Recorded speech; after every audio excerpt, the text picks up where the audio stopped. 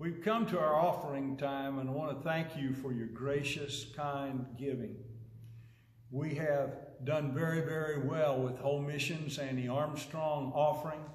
We're up to uh, $2,340, which has really surprised me in the midst of all we've gone through.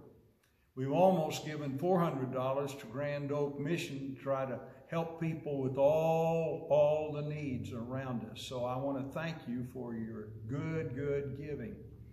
We've got a number of prayer requests that I'd like to share with you. Elvin Dunn's brother has had cancer surgery to his jaw. We're praying for his recovery. Uh, Retha has a, a, dear, dear niece in the hospital called Chris. Uh, Betty McCarty has a friend who lost her son. Bill Wells is home and doing better from some serious stuff. Sharon R. is recouping at home, of all places, with her back. Uh, Mindy E. has asthma and a number of issues that she's got to deal with there. A seven year old boy, Colston, little fellow went to St. Jude and still having a lot of problems, did not seem to work. Crystal H. has a lot of depression and we need to lift her up. Added to this, Mary Lee F. and Beth M. both have problems with high blood pressure. Dick Bishop, former pastor that you all love and we enjoy his jovial spirit, is having trouble breathing and very, very weak. Uh, Cheryl Kay's cousin in the hospital has had a tube put down and she's breathing much, much better in the midst of her bacterial infection. Uh, Cleta sister in New York is having further treatments with cancer and it should help her. The Malakuts have a good friend called Alan who's continuing to struggle with corona, and we're all lifting up folks like this in prayer.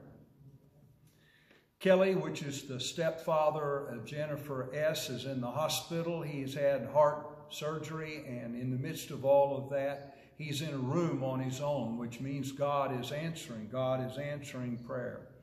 Rex P. asked us to continue to pray for him with his infusions. In a moment, we're not, not only going to pray about these needs, Kevin will lead us, but also I want you to remember home missions. This clip will be a blessing and a help to you and to me as we close out this offering. Kevin, would you please lead us in prayer? Let us pray. Heavenly Father, we just thank you for this day. Thank you for the ability that we can get your word out, Father, through this, this new way of doing things.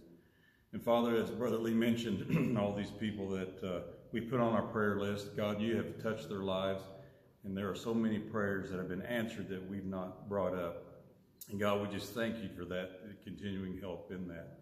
And Father, I ask that uh, as we go through these trying times and as we give our gifts to you, that that these will be used and uh, with home missions, Father, and uh, Grand Oak Mission. Uh, their need is great that we can we can contribute, we can help uh, God's people with these gifts that we give. And just thank you so much, Father, for the for the gifts that have been given by our church body. Now, God, we just ask you to continue to work in the lives of all these on our list that we've mentioned. Any unspoken prayer requests, God, you know what they are. You are the physician, the great physician, the healer. You made us, you know us. Mm. You know every cell, Father. And so we just ask you continue to help us. And God, we also ask that you be with our nation, uh, be with our leaders, that they make the right decisions during this pandemic, that we don't uh, uh, call it quits too quick on this and that, that caused some issues. So God, would just ask you be with them that they make sound judgment. Now, Father, just be with this part of our service, be with the gift and the giver, and uh, take this offering and multiply it for your use. In Jesus' name, amen.